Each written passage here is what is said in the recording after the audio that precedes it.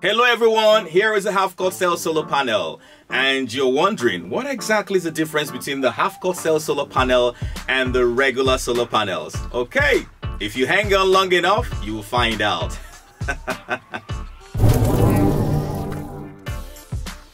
Welcome back guys, my name is Ikenna from Smilinsun. Everything solar installation, everything inverter installation, everything going green. This if this is your first time on our channel, please kindly subscribe, alright? You have absolutely no idea how much you're helping us to grow. And besides, you'll be the first to get notification when we have brand new videos coming out. Thank you so much for your support. This is a half-cut cell solar panel. So what's the difference between the half-cut cell solar panel and your regular solar panel? So I'll let you guys in on this quickly. Uh, what these guys have cleverly done is that they've reduced the size of the cell so that more cells can fit into the bus bars. So here are the bus bars and here are the cells, all right? So when you reduce the size of the cells, more cells can fit into the bus bars, thereby doubling the output production and that is incredible. All right, so they have delicately cut the cells into half, reduced the size, and now fit in more cells into the solar panel. So overall, you're gonna have a lot of cells going in.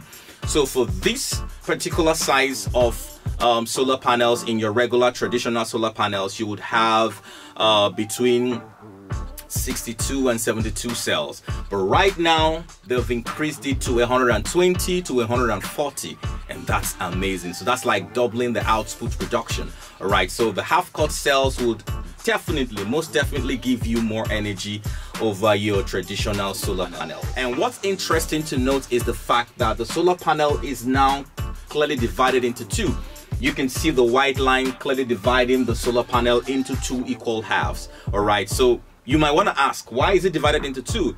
All right, this is essentially done to address the issue of shading which has been plaguing the solar panel for years. All right, situations where you have particular cells blocked off or patched off, when you have leaves overhead and some cells are blocked, what it potentially does is that it drags down the entire output that is connected. All right, so but with what I've done, they've made the two sections of the solar panels to work independent of each other. So in situations where this solar panel is blocked or you have some cells that are, you know, blocked away from sunlight or light, um, it no longer affects the entire output. So because they work independent of each other, this works alone and this other half works alone. So it no longer affects it. All right, so if you have a lot of series connections that you've done, it's pretty safe because it's not going to drag the entire output down any longer. So that's what they've achieved uh, in doing that. So that dual function for me is really beautiful because it protects uh, the entire production that we've done because sometimes you really can't tell what can block off a cell.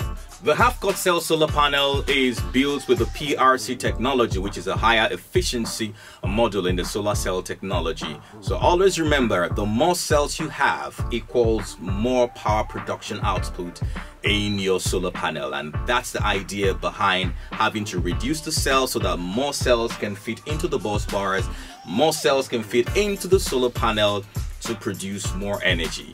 So in this space, what I have done is to simply double the output of the solar panels.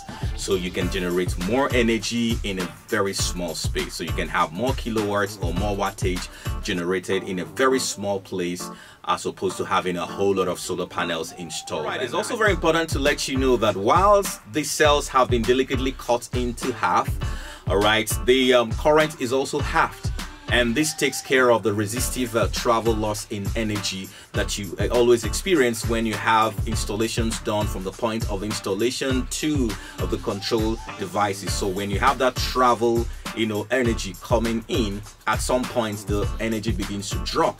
But right now because the current is half that takes care of that as well and you ensure that whatever output you're getting from the solar panel you know get to the point of the controls and of course to the point of the usage of the output that you're generating. All right guys that's all we have time for today. Thank you so very much. It's Smilinsun everything solar installation everything inverter installation everything going green if you haven't subscribed yet to our channel, please, what are you waiting for? Kindly help us to subscribe.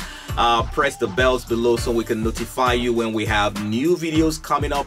Thank you guys so much and see you in the next video.